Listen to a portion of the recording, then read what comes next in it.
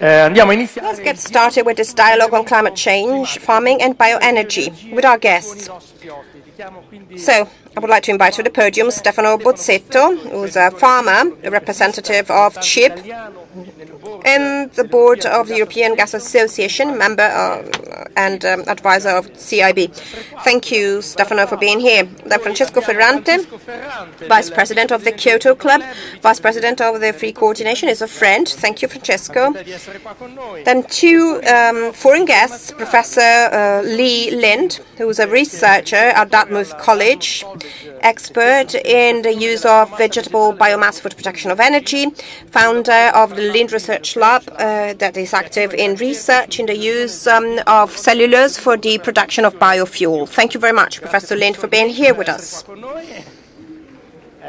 He's just arrived. From South Africa, I guess? Where, where? Anyway, he flew here from, from Kenya. And Professor Jeremy Woods, who is a professor of bioenergy at Imperial College London.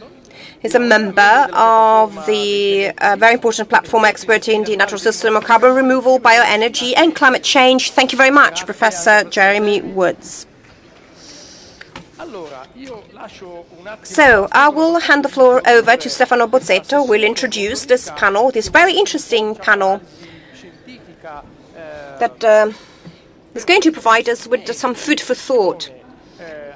Food for thought for the following two panels. Uh, Lorella is here as well.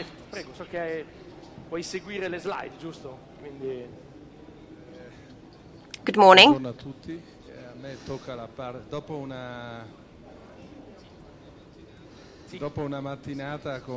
Could you please put the slides on? So we spent a morning with young colleagues who um, told us about their experience. I'm a farmer too.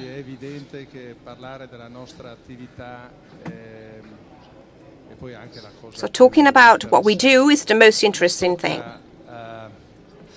I have the difficult task, because I am no scholar here, to continue with this uh, tradition started by CIB that has always wanted to exchange views with the academic world and with our international friends. We are putting our businesses at risk, our farms at risk. So it's very important to be pragmatic with respect to the environment, with respect to um, um, food security. This is one of the questions that has always bugged us, and um, we are unable to solve everything on our own in Italy. We need to have um, a shared experience. We need to have a shared approach in Europe, first and foremost, but also with our friends from overseas. So we have to share with them what we are doing. This morning, we heard from Rattan Lal and then, of course, we will try to put everything we said into um, a context and the explanation of how renewable gas, so agroecology, and the fertilization of the soil. I don't know many uh, biogas promoters that are also organic farmers, but I can tell you that the uh, farms of biogas done right in uh, in Italy are the ones using organic fertilization more than anyone else. So we will try to um, ask five questions.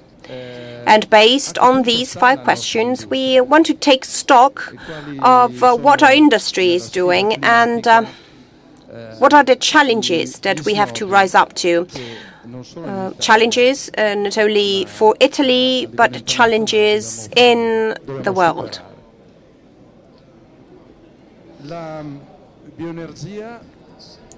Bioenergy is the sector that has invested less than others in its uh, sector of renewables. After a boom in the 1990s, investments, if compared with solar or wind energy, have slowed down, with the exception of biogas in Europe. I asked Lee Lynd, and I'm honored to have uh, here with us one of the ultimate experts of uh, cellulosic ethanol to tell us um, something more about his vision. So, what's the state of play of the industry of ethanol, which might sound far from us, but it is very close. So, please, Lee, the floor is yours. Thank you. It's a, a great pleasure to be here. Um, I think that the work you are doing is one of the shining lights internationally uh, at bringing the idea of the circular economy to the intersection of uh, energy and agriculture. I appreciate also that, as I understand it, uh, what you're doing uh, sort of goes from the farm to energy. And I think people have often sort of started with energy and then gone to the farm. And so I think that's very healthy to sort of start on both sides of the river and, and build bridges towards the middle. Uh, my son and daughter in law are full time farmers, and so uh, and I have two farm grandkids. And as you know, growing, growing up on a farm is a little bit different experience from growing up elsewhere. So I feel, uh, I hope I can take the liberty to feel at home. So, um, in a nutshell, and uh, Stefano showed, uh, we wrote this Nature Biotech paper in the end of 2017. You can go read what we had to say there about the last 10 years for cellulosic biofuels. Um, it was a rough 10 years, and in my opinion, the basic reason, uh, there are some other reasons, but people got very excited about this technology and sort of convinced themselves in a competitive atmosphere where everybody needed a bigger story than the next person that we knew all we needed to know in order to go implement, and away we went. And we actually sort of stopped trying to learn new things and innovate, and instead just looked to deploy and scale up. I think it's very clear now uh, that um, the technology was not as ready as it was presented. And I think we need to, in a nutshell, I could say much more about this, but I think, you know, people speak of second generation, they abbreviate it by 2G. I think we need a 2G 2.0. Uh, where we uh, refocus and realize that we have some things we need to make better. And I'd be happy to discuss this with you uh, offline. But I think that as we, as the second generation liquid biofuel technology evolves, I think it's going to look more like biogas technology than it does today. I think in some ways that, in a technological sense, the two are going to be convergent. Let me also say that it is possible for people in the biogas community, actually, I'll start with my own community. It's possible with people from the liquid cellulosic biofuels community to uh, adopt a maybe an adversarial relationship with the biogas people because we're competing for investment and all of that, and vice versa. But I'm absolutely certain that the, to the extent that each of these does better, the other does better. And I would urge us to, to take a uh, collective uh, approach. There are a couple of slides I want to show you, if I may. Um, yeah, oh, good. I can just barely see that one of them's up there, and you can see me craning my neck up there. So, I show a picture there of the carbon cycle, and as you're very, very aware, um, there is this potential to uh, move carbon as, uh, as we would in a circular economy. There are arguments that I try to summarize there very briefly, and I'm not going to read those words to you, but you're all familiar with them. There's the indirect land use change argument, there is the, um, the argument having to do with um, the time lag that happens if you, if you clear forests. You, you've seen all of those. And they have been presented in the literature as if they are inescapable, that, that those are just things that make bioenergy. And by the way, all of those have to do with land, and so it doesn't, thank you, Jeremy, it, it doesn't much matter whether, uh, for, for the purpose of these arguments against bioenergy, it doesn't much matter what you're making because they all have to do with the things have to do with the land before you actually make biogas or uh, liquid fuels or, or what have you. So these have been presented as if, you know, game over, it's, it's a bad idea.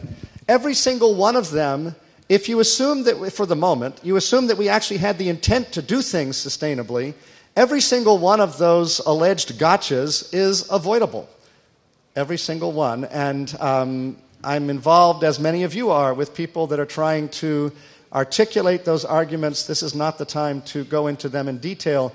But I would like to bring up one point that I think is very fundamental. So, one of the statements up there on the slide is that, you know, for all that the indirect land use change argument has done to prevent uh, the expand and impede the expansion of biofuels of all kinds, actually, if we're talking about cellulosic feedstocks, if I can go to the next slide, thank you. Uh, so there's a summary of recent literature on ILUC uh, for cellulosic feedstocks. And again, calculation of ILUC has nothing to do with what you make with the cellulosic biomass. It has to do with how you produce the feedstock. And in a nutshell, um, the arguments cluster around zero, and there are as many arguments, there are many, as many reports for cellulosic biomass that point to ILUC as having a net mitigation effect. That is, that the indirect effects have a net mitigation effect there are as many reports that, that uh, indicate that as indicate um, that it has a net emission effect. And I won't go into it, but let us just say that there are many variables having to do with how you use land that have a much, much, much larger effect. What te- conversion technology you use, whether you do carbon capture and storage, one form of which is in soil carbon. Um, these have a much bigger effect, in some cases, order of magnitude bigger effect than the standard deviation of current ILUC estimates for cellulosic biomass. So um, I think, given that, the, uh, there's sort of a disproportionate response. Let me end my comments with just one little, I think, instructive story. And the moral of this story is that, you know, we tend to label things as this or that, and everything depends on how we do them. Uh, and so the example has to do with corn ethanol maize ethanol, which I'm not particularly used to uh, defending or advocating. I'm well aware of its weaknesses. And I would comment, though, that I'm, I'm involved in a study that is, originates from Brazil and is now under review.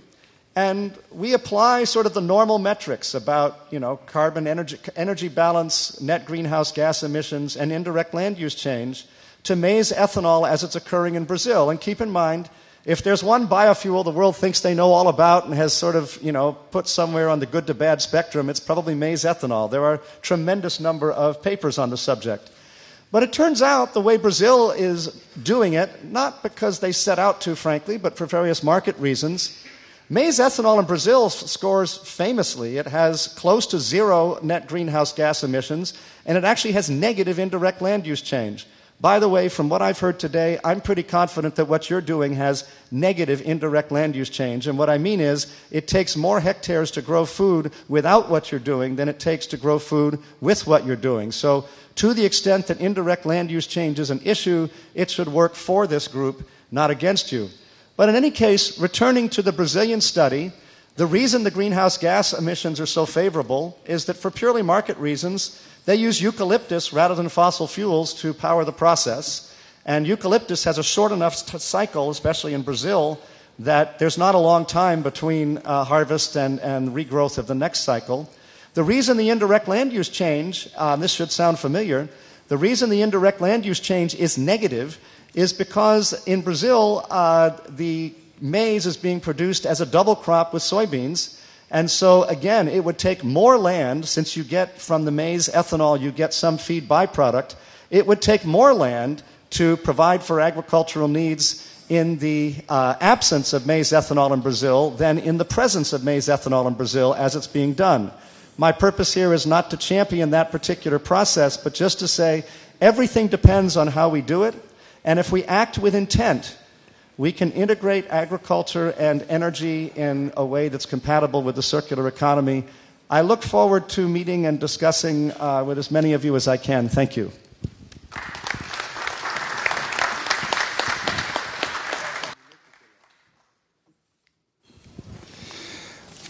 Uh,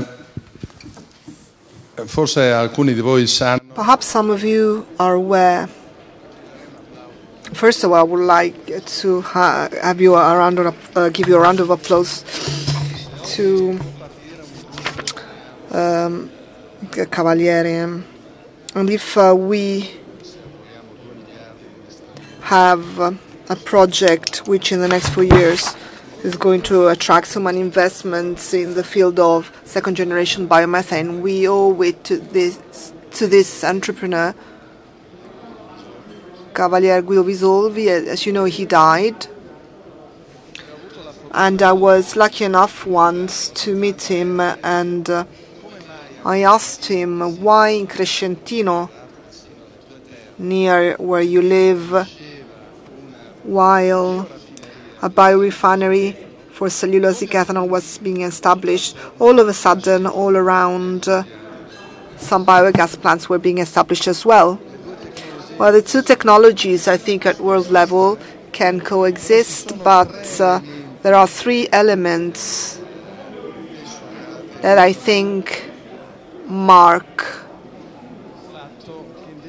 the fact that in Europe, biogas, this is the statistics for biogas use in the utility sector, um, whereas this is the production um, of my biomethane. Well, this has continued to grow. I will summarize this with three elements, and we are lucky enough here to have Jeremy and others speakers. Avremo l'occasione per confrontarci. So we will have an, an opportunity for exchanges. But anyway, there are three elements which I think are essential. Um, in the fact that biogas is an industry that slowly is continuing to grow, and that if it were to grow also abroad, we would be even stronger. It is a patent-free technology, a low-cost technology, and it is a natural process. Um, biology comes from cattle breeding waste. It can be implemented at a low scale. So even though if the plant in Crescentino was a pilot plant uh, and it cost over 100 million, but uh, these others are investments that are, are um, smaller. You've heard the younger uh, farmers, some of them spoke about 30 million euros investment. So these are sizable investments, but still something that farmers can grapple with. And then the gas grid, uh, the gas grid that gives us an opportunity, um, first of all, the aspect of planning things out, because as Luca was telling us this morning, we have the chance, the chance to uh, store gas on an hourly basis. But once you get on the grid, by using the distribution and storage gas network, we can deseasonalize our production. Uh, for instance, as cattle breeders, what do we do when you take the sun of the summer and you capture it to use it in the winter in plants? Well, with the world of cellulosic ethanol, we do not just have the biotechnologies, uh, but we have also other things. This uh, slide really has to do with the negative mood that revolves around our sector. It has been going on like this for 10 years. I was presenting this slide in 2000 something, I think 2008 in Amsterdam. Um, when I enter the European Biogas Association. And bioenergy is a carbon loser. This is what we heard. This is uh, Tim Searchinger uh, is the person who invented the ILUC theory. And this slide allows me to introduce a second theme, uh, theme, and I would like to ask Francesco Ferrante to expand on it. Yes, Stephanie, if we may explain what ILUC is, because, not everybody's familiar with it. Well, the ILUC, I don't want to get too technical, but well, this has, has to do with our daily lives. So it depends all on this. Uh, this is an acronym, and it means uh, indirect land change, land use change. Uh, And what happened in the literal application of this theory? Well, on Nature, so one of the main international journals, um, in December, an article was published according to which organic farming, because it produces less than conventional agriculture per hectare, um, owing to indirect effects that it produces by forcing somebody else to eliminate a wood uh, in order to compensate for that uh, lack of production. So organic farming is more polluting than uh, conventional agriculture. So because this is uh, an uh, idiotic and because this theory is applied uh, correctly, the question that I am willing to ask Francesco, but then if now Bolsonaro has decided to open the native areas in the Amazon to soy crops, we European agri farmers to carry out sustainable agriculture, whose debts should we be paying for? Intanto, eh, intanto vi ringrazio di, di, ormai. First of all, I wish to thank you for inviting me. Uh, uh, I'm particularly happy this year because this morning you gave me the chance of seeing some hope because I saw four young farmers who are very good, actually excellent. So I have this hope. I hope that, you know, uh,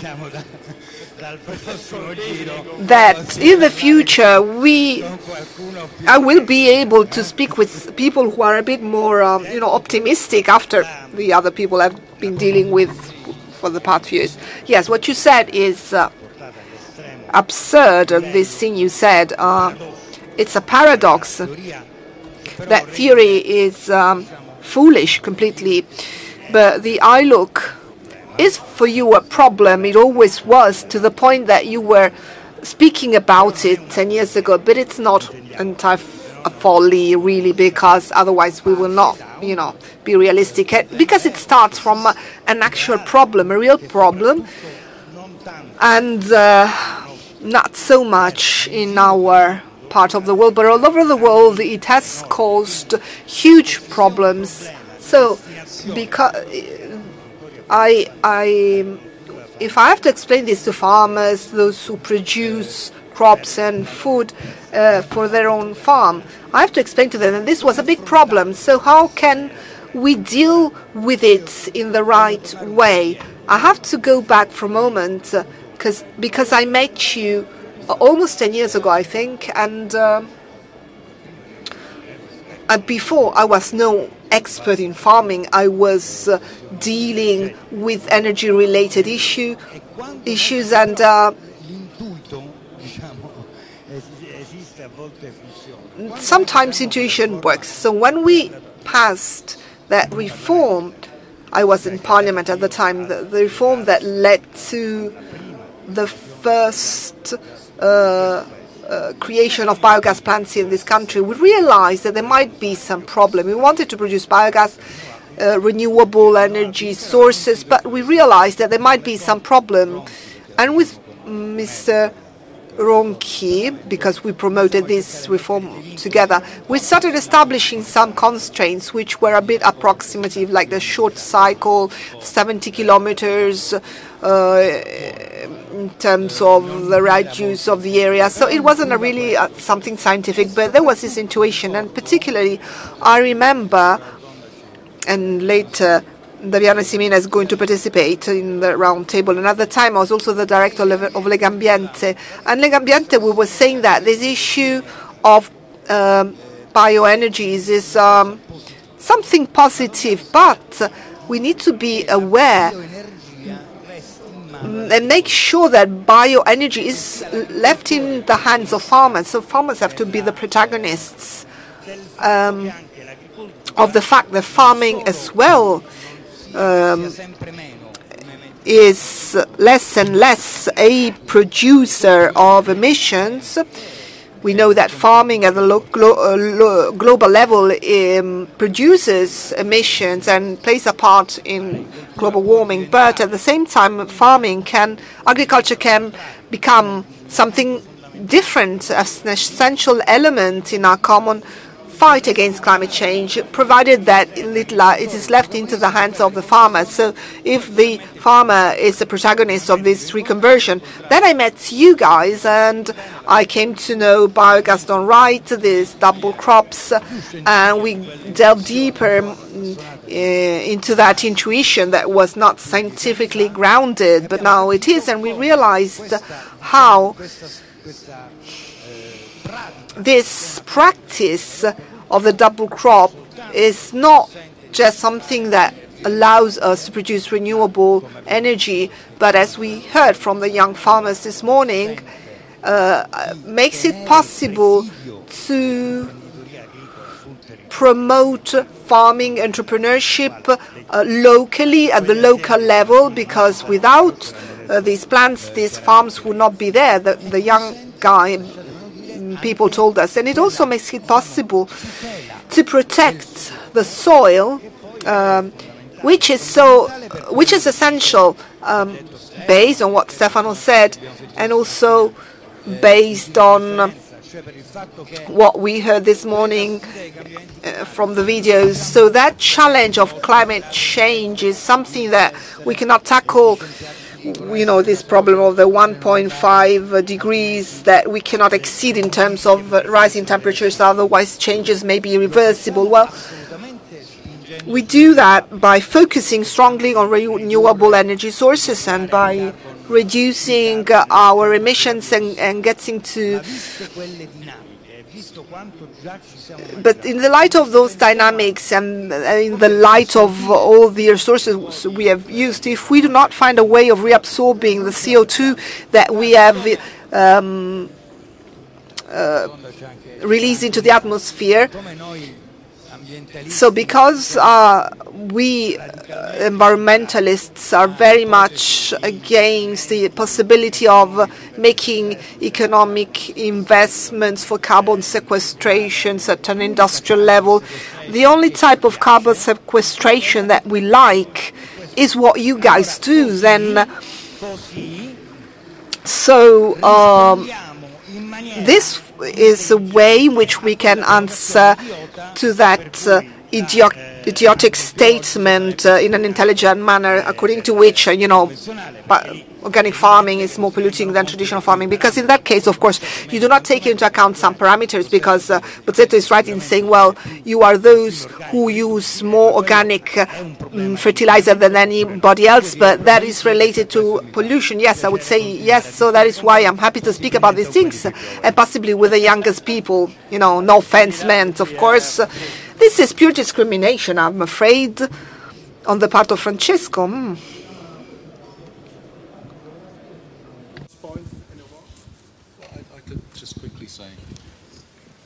It, it uh, so thank you very much, Francesca, for those for those comments.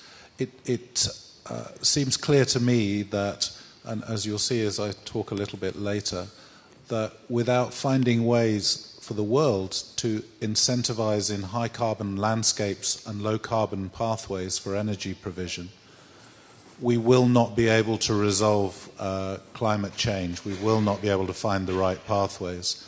At the moment, the discussion seems mostly set up to penalize farmers for food production and the things that they do with food production, and to think about energy separately. And so I completely agree with, with, with what you've just said, Francesco. I, I completely agree that we need to find ways to reconcile this, to help you as farmers do the right things in agriculture that increase carbon levels in the soils, that increase carbon stocks on the land, and at the same time provide more services to humanity.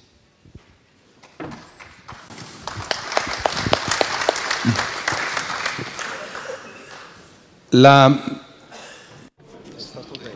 So it was said that the ILUC theory is grounded, is well founded, and we need to recognize that a big chunk of the amount of emissions we created is also related to the change in soil use. Um, and um, so we heard that because of this, there has been a change in carbon, and we can pass from debt to credit. This is the first time we speak about it before an audience, and it seemed crazy in the past. But before we can say how we can produce this credit, we from the biogas done right must say something, and it's that you don't. If you don't change the way in which we farm, then bioenergy uh, has no purpose. This is the problem in our farms. In other words, I I'm not I'm not going to talk about a specific crop, but without changing the way in which we farm, we are part of the problem. And as a consequence, we cannot take part in participating funding a solution. Professor Bruce Dale said business as usual is not an option, so we need some radical action also in the short term. And Rattan Lal told us this morning uh, in nature there is no there is no free lunches. If you move carbon from here to there, you really don't solve the problem. So in this connection, I wish to ask you, and this is perhaps the most difficult question, um, and it's difficult, particularly for cattle raisers. This is not an easy question, but so we so why in South America today they continue to eliminate forests. They promote uh, deforestation. So there is a demand in uh, fodder protein which is out of control with 10 billion people. We need to say that we cannot continue uh, continuing to increase the supply of animal products. So in meat products. So for instance, my daughter does not eat vegetables, but she eats tofu. Um, so in young people, there are um, changes, food changes, and we see that in the markets of food, uh, of meat and dairy. Well, biogas can also be helpful in this connection. Think about a rotation with uh, some plants, uh, leguminous plants, also for human uh, feeding, but also, you know, as fodder in order to not to depend on Brazil, which is what Europe does. So it is the demand from our stables that creates deforestation. So can we do something? And because the minister is coming here, can we ask him to make some plan for Italian for proteins in Italy and in Europe, and then biogas can play a part in this? And I will ask this um, to our guests. Francesco. No, biogas Well, biogas, yes, can play a part, I am sure. And I would like to uh, ask another question for our minister, because it is something that Bozzetto has been asking me over and over. The issue whereby this this Italian practice, uh, this Italian experience, which is so important, has not been fully understood or uh, replicated uh, internationally. With Piero Gattoni, we went to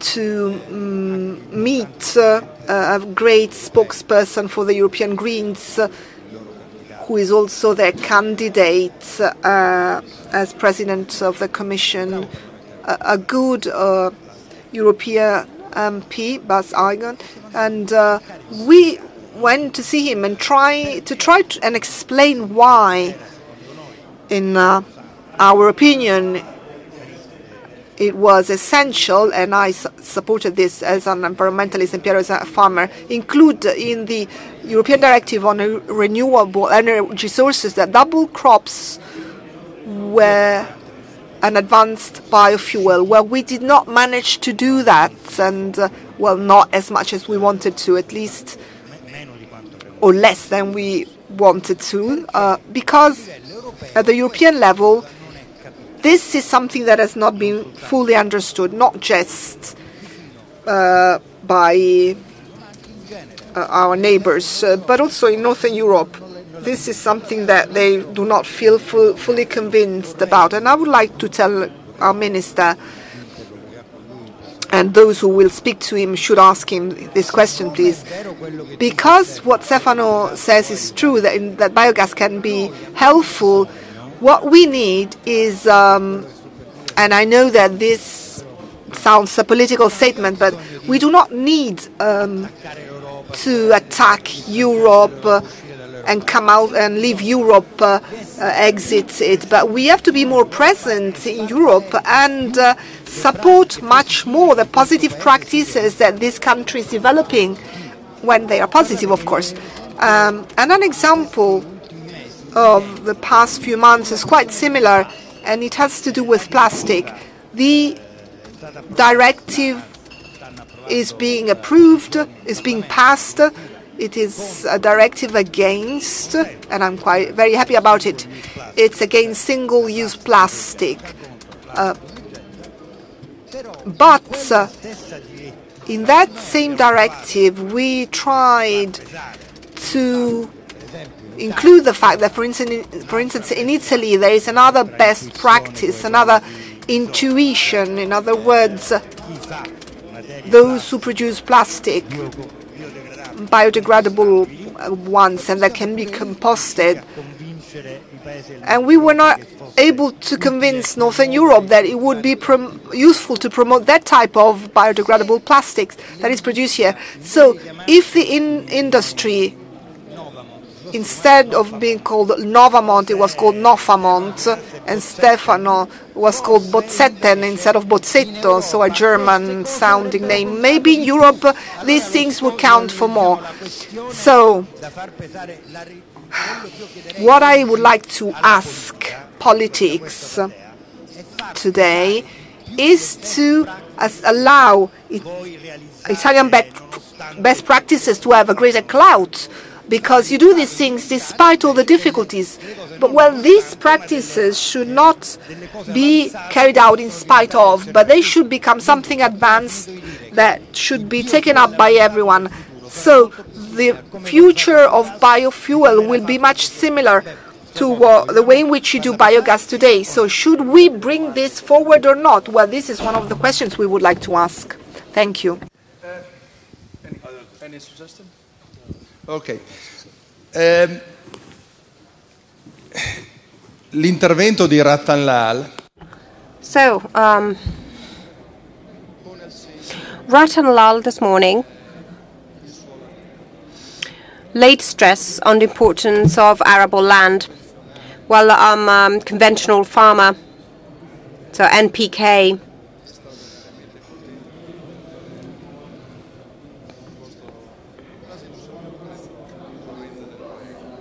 I didn't uh, know what's the current price of urea. Uh, I used to know that in the past. I don't know what's the current price. I have no idea.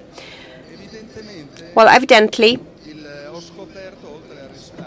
in addition to saving, I've also discovered the importance, just like you did, of uh, land. We began measuring um, how much carbon there's in our soil and we're doing that thanks to a seeds company that is doing that for free because we have no other support in, uh, in this regard. No scientific support, I mean.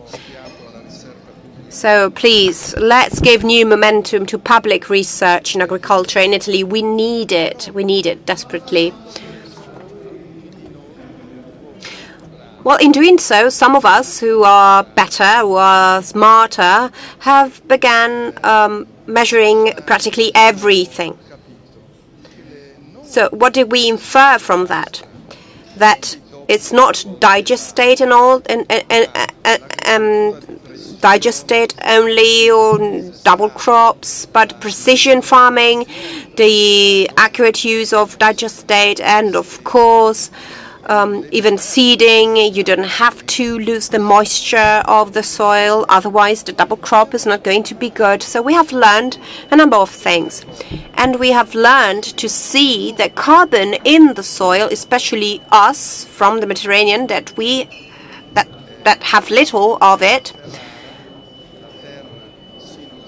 For example, I have land. Uh, in uh, in Ferrara and soil has two percent uh, of organic matter. My colleagues in Bavaria have three, four percent, but um, that's near the stable. But in the land far from the stable is 0.8 percent.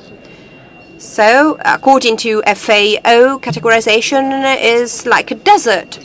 So we found out that that reservoir is being filled it's easier for us from the Mediterranean uh, countries because it's pretty empty, but we are doing that. We are filling it nonetheless.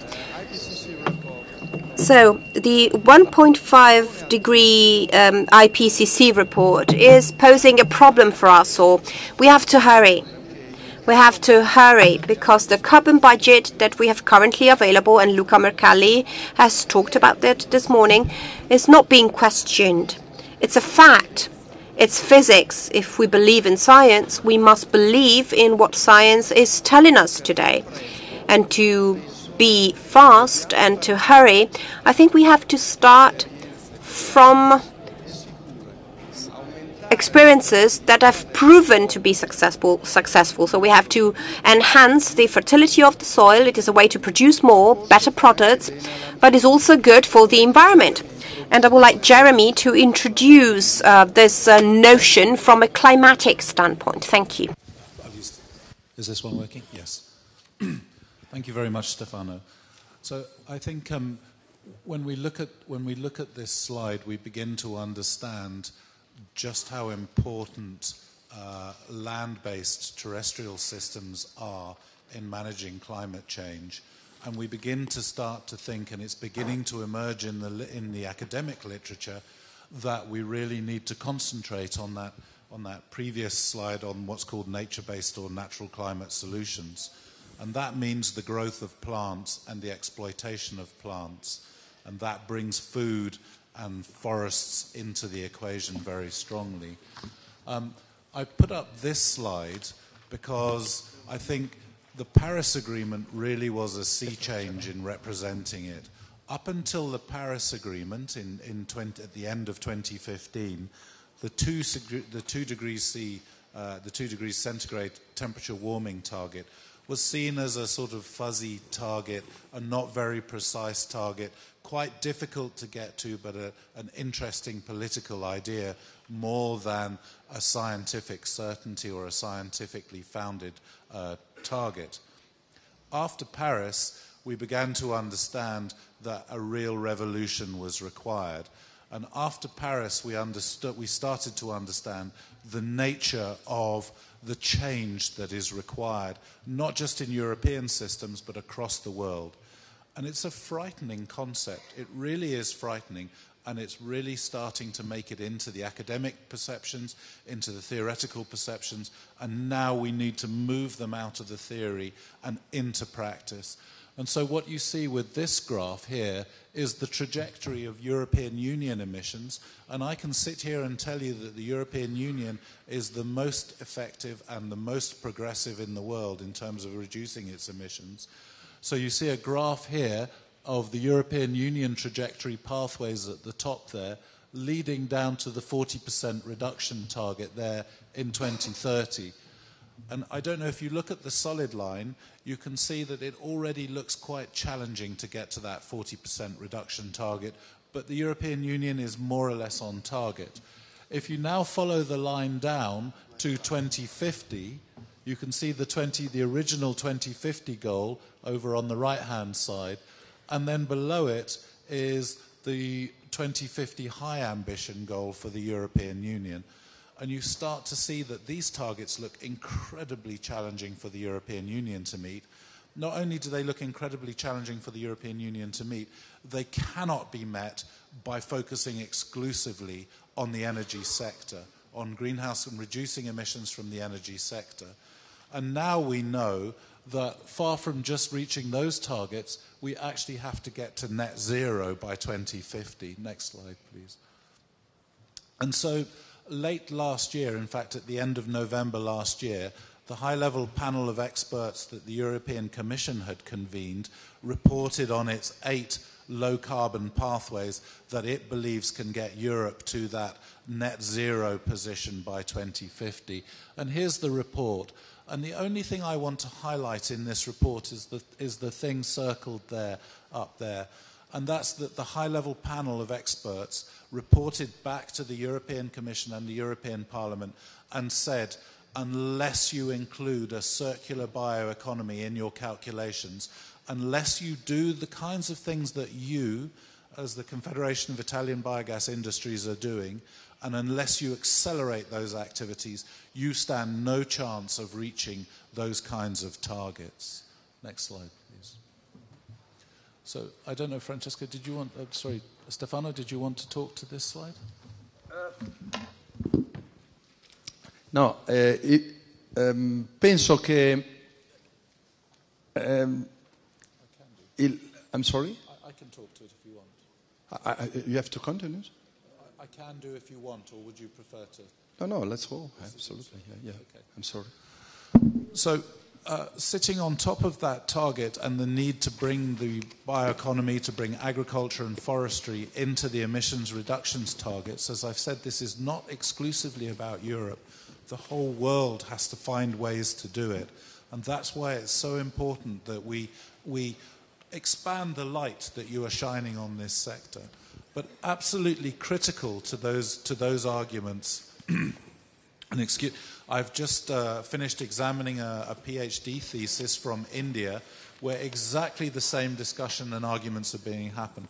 Absolutely critical to those arguments about meeting those extremely challenging greenhouse gas emissions reductions pathways, increasing carbon in the terrestrial systems, is the ability to manage carbon in the soils.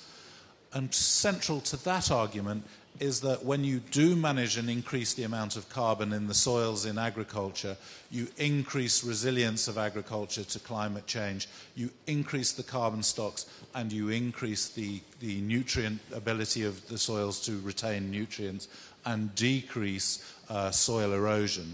Next slide, please, Lorella. Ah.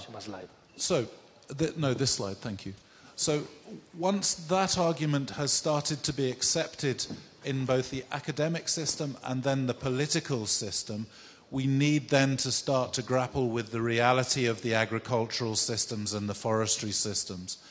And that means a huge increase in innovation and in knowledge in agriculture and in forestry. And again, everything I've seen, and I've now come to three, this is my third uh, Biogas Italy conference, everything that I have seen, you, you as the farmers in this grouping who are producing biogas, you are demonstrating the range of knowledge and the range of innovation that is, being, that is required to achieve this. But this graph simply shows the scale, and I'm afraid it's too complicated to go through in any detail but that there are so many different factors involved in improving, in improving the organic matter levels and the soil carbon levels and improving yields and improving the resilience of agriculture and, and the forestry system that are required to increase the carbon stocks on land. Thank you, Lorena.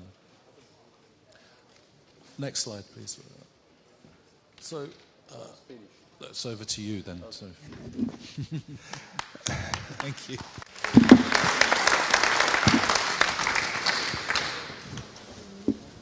Vorrei provare a, a, a concludere per poi So, I will try to draw a few conclusions and then I will ask our friends to make a final comment.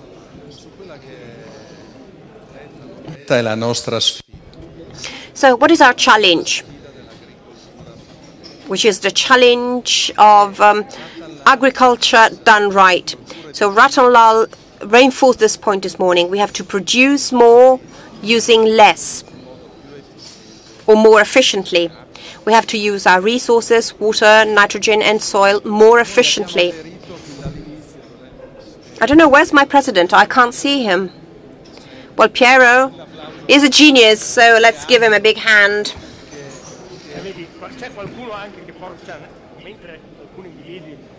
Evidentemente sono ricordati al, al Biogas Italy 2020 proprio Ferrari c'è assolutamente So, you know, there are people that acknowledge the importance of our managers. So we have two great managers.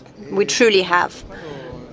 Con Piero, Piero non ha avuto il minimo Well, when I um, talked to Piero, Piero had no doubts. Well, usually mm, French people and Italian people don't get along that much, but we were the first uh, organization to join the Quatre pour Mille movement. And the Quatre pour Mille began when a farmer, Le Foll, that was his name, well, he's a socialist, but uh, it doesn't really matter, went to Ohio and said, Is it really possible? The next slide, please. Is it really possible? Because you will uh, find all different versions of this, but let's come to to see us. Let's come to our, to our farm to see what's happening. And uh, Rattan Lal um, told us this morning that we have to take a carbon balance, um, a carbon budget. So we focused on tons of euro, but we have to use those maize stocks to produce energy on condition that you return something to the soil um, in equivalent of uh, uh, greater amounts because the biome of the soil needs to be fed and its energy is carbon. So we have to create a positive carbon budget. For example, the problem of American academics and, and still don't know very well what digestate is about. So we had the honor for Rattan Lal to start exchanging views with us, and hopefully next year is going to be here with us in person. It would be a great honor for us all.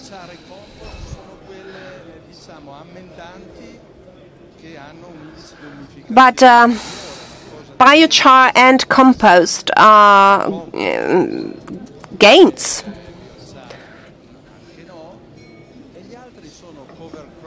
Um, then cover crops, um, crop residues, and everything we produce in the subsoil.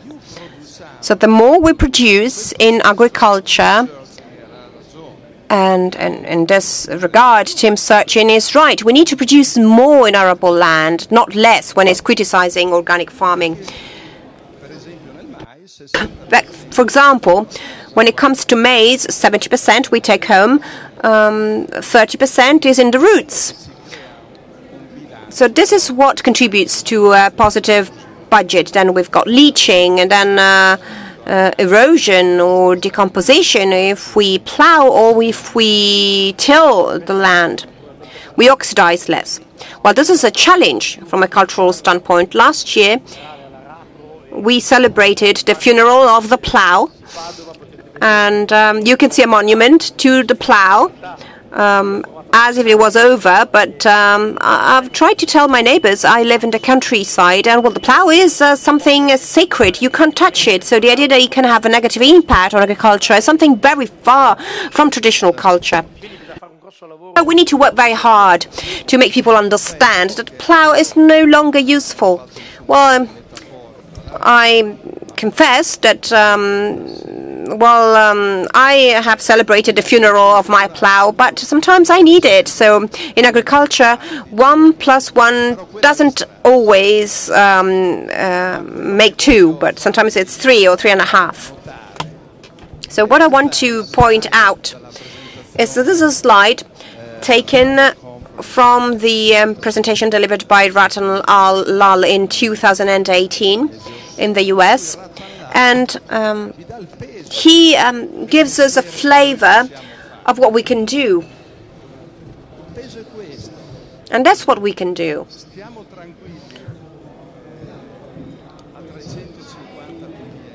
We are safe at 350 ppm when we approved the Kyoto Protocol a few years ago. I think that that was the threshold.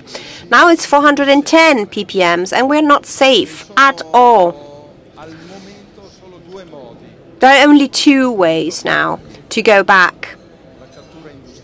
Industrial capture, it's not up to me if that's realistic or not, and photosynthesis. Let's not be afraid of photosynthesis because producing more in agriculture means capturing carbon. And to sequester it, the first thing that we need to do is to capture it. And then we need to sequester it. And it's convenient in the countryside for us, especially in the Mediterranean countries. So the message I would like to give to Italian politicians is that we have land that has 0.8, 0.7% of carbon. So we have to recover the first infrastructure for farming, that is agricultural soil, so arable land. And Rattan Lal gives us a flavor of uh, what we have to do in order to rise up to this challenge. So if we increase photosynthesis, if we use the soil to improve its fertility, which is not bad, it's not going to be harmful. We can recover 157 ppm. That's the scope of the challenge. It's a scientist telling us. So I think we can trust him. And so we should keep doing what we are doing in the countryside. So I would like to ask you to make a final comment so we can conclude uh, this panel. Jeremy, please. Thank you very much, Stefano. So I think we have uh, all the ingredients that, that we need to see, we need to understand, built around your biogas example to show how the agricultural system globally can start to move in the direction that's needed, but it needs to, to not just start, it needs to move very fast in that, in that direction. Um, I thought I might just finish my comments by talking about the Brazilian system strangely. So we're working quite hard with the Brazilian sugarcane industry about the implementation of biogas into the Brazilian sugarcane industry. And one of the key reasons that they want to introduce biogas into their industry is in order to control water quality and to meet new water quality standards, but also to help manage water in the land and water in the sugarcane production system through soil improvements and then improve, improve yields for sugarcane. We're seeing that in Brazil, and I hope that we will see anaerobic digestion and biogas production become a cornerstone to new agricultural movements, new changes in agriculture around the world. And um, I've just returned from a meeting in Ethiopia where bioenergy is starting to be seen as a real tool to help improve agricultural production, agricultural practice. But I just want to make one final point, and that sitting on top of all of these really quite academic discussions is exactly the same point and the same question that we will not be able to move to the pathways, the low carbon pathways that, that we're talking about, unless we find ways to incentivize the people on the ground, the people working the land, the people producing the land, and allow them to retain value and provide incentives for them to change practices in order to be able to move on to these new pathways. I thought I'd leave it with that. Thank you. Yeah, so we're all trying to find, I think, different ways to say the same thing, and I'm going to come at this from sort of a philosophical point of view. You know, let's imagine our great great grandchildren a couple hundred years from now when they're adults and they're looking back and they're asking, so, you know, in 2020 or so, what should people have been thinking about harder than they were? And I think that there are, globally speaking, two things. I think one of them, the phrase revolution has been used. I think one of them is, I like to call it the sustainable resource revolution. It's not only energy, it's not only agriculture, it's water, it's, it's the whole thing. But it basically amounts to being able to live off of our resource income rather than our resource capital in whatever context you have. And in addition to the sustainable resource revolution, the other one, it seems to me, is poverty. We live in a richer and richer world, and yet Uh, as the presentation uh, from Ohio State uh, showed this morning, we still have close to a billion people who are, who are food insecure and, and living very poor lives. 72% of the global population lives on less than 10 US dollars per day, which is some people's budget for coffee. Um, and so we still live in a poor world, and yet we have lots and lots of ways, things we can do about that. And it seems to me that in both energy and with oh, both, excuse me, in both the sustainable resource revolution, I think that agriculture, I feel confident that agriculture has a central role to play in bioenergy and in encouraging the circular economy. And I just came back from two weeks in East Africa, as it happens. In fact, I arrived this morning, uh, but I've been in Kenya and Uganda and Malawi. And you know, what's happening in these poor parts of the world where the food uh, insecurity is concentrated is that there's very little way to generate value in rural economies. And so we need something better than the way that rural economies survive is to send their young people to the cities who send checks to their grandparents back in, in the rural places. So basically, we need to get agriculture going uh, in, in those, those parts of the world. And so it seems to me that agriculture has to embrace, has to realize that the agricul- globally, the agricultural system we have now was not particularly designed to tackle these emergent problems of of climate change. So we need to innovate, and I think that what's happening here is a wonderful example of that. And I think that we also need to take responsibility, as Stefano has said. We need to take responsibility for the whole thing. We need to take responsibility for the things that we fortuitously do well and the things that we haven't done, we don't do so well in agriculture because we, again, we didn't set out to uh, be part of this circular system in the same way that is now needed, although there have always been elements of the circular economy in agriculture, as any farmer knows. And so um, I congratulate, I started and I will end by congratulating you. I think that this is a, uh, your effort is a, a, shining star globally, and um, it exemplifies, as Jeremy has said, it exemplifies many of the directions that the world needs to head. So, congratulations. Grazie mille al professor Lynd. Thank you. Thank you. And uh, in these three final minutes, I would like to say something that is not necessarily related with what we have said so far. And this is also your last chance, so, you know, since you're here, say what you want to say.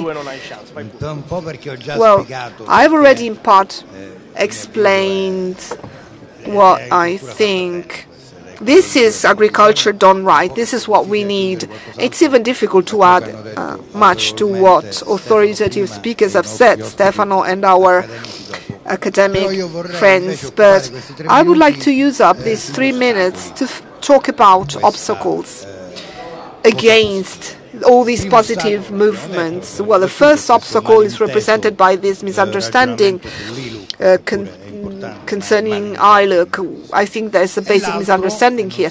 And the other is, and it would not be honest not to mention it, is the issue of the social acceptability of these plants um, uh, on the territory, uh, at the local level. So those who follow my tweets, uh, which is the only social network I use, know that I am conducting a personal campaign on NIMBY against biomethane.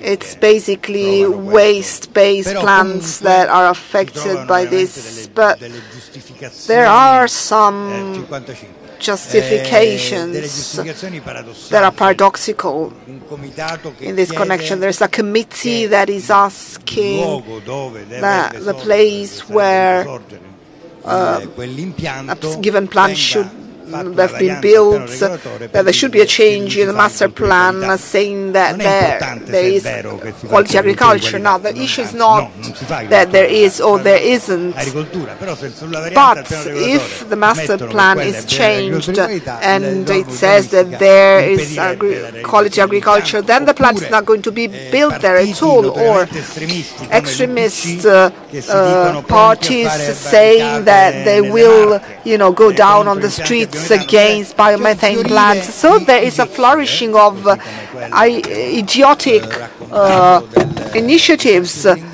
Mm. And this is also the case in, with NIMBY, not in my backyard. Uh, I have to say this because we need to know, uh, be aware about this. Uh, as very often your plants are, are also involved, there are some even funny situations in a sense because there are some committees that says, well, if you build a biomethane gas here, we will never be able to produce parmesan here. It's going to be a tragedy. Well, go and tell this to the president of the Italian Biogas Consortium.